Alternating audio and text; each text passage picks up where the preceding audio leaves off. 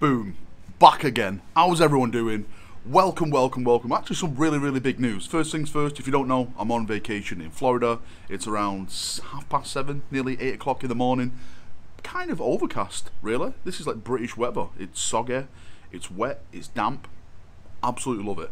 Right, so Games Workshop have just announced over on the GW website right now that for 10th edition, we're going to be playing it this month. Yes, you've heard that right. This month, 10th edition, if you've got a ticket for Warhammer Fest, they're going to be having demo games at that event, which is huge, which is actually something I called, to be fair. What's this? Prophet Valrak is back again.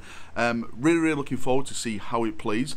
They're saying that the game is a lot more simpler, which it's going to make me in my absolute element when I come to play this game. I am really interested to see how the toughness, how like like the OC objective control works.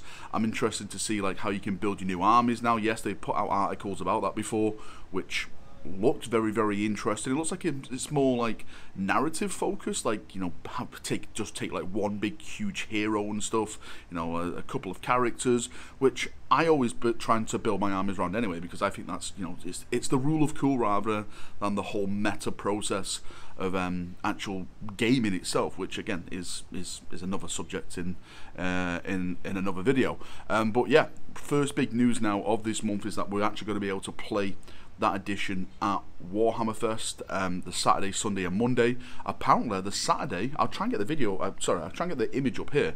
Apparently, the Saturday event is completely sold out, which is a very, very big deal if you know where this place is taking place. It's uh, taking place in, well, it used to be called the GMEX, I'll always call it the GMEX in Manchester, and this place is huge. It's like, it's one of the biggest conference places you can have in Manchester. I used to always go as a kid and like to like um, uh, job fairs and stuff like that. Um, so to sell that place out, this just goes to show how big of an event this is going to be on the Saturday. I'm going to be there the Friday, Saturday, and Sunday. I'm taking place in the double tournament um, on the Sunday for Warhammer 40,000 because why not? Um, but yeah, it's it's going to be an absolute slugfest. I cannot wait to get my hands on it. I cannot wait to to, to roll some dice, hopefully to meet you chaps as well there, whoever's going to be coming, and just talk 40k. Also, one more thing that's happening this week, it may, it may happen today. I may be doing two videos today, I may not do two videos today, let's see. Games Workshop have promised to show off a brand new model for the 10th edition box set, or the 10th edition new model range. I don't know if it's going to be a Tyranid, I don't know if it's going to be um, a, a, Space Marine. Fingers crossed it is a Space Marine. I would love to see the Captain Terminator model or one of the veteran models, um, for example, or the veteran squad um, for example, and fully showed off, you know, all, all in its glory. That is definitely happening this week.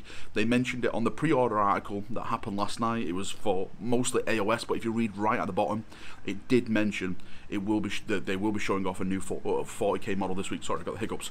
Um, so yeah, looking forward to that as well. I wonder what they're going to do. Um, again, for me, hopefully, it is going to be um, Space Marines rather than Tyranids. Just thought I'd give you this little update of the video. I'll see you all very, very soon. Oh, White Scars going past in the background. See you now. Have a great day. And bye-bye. Boom.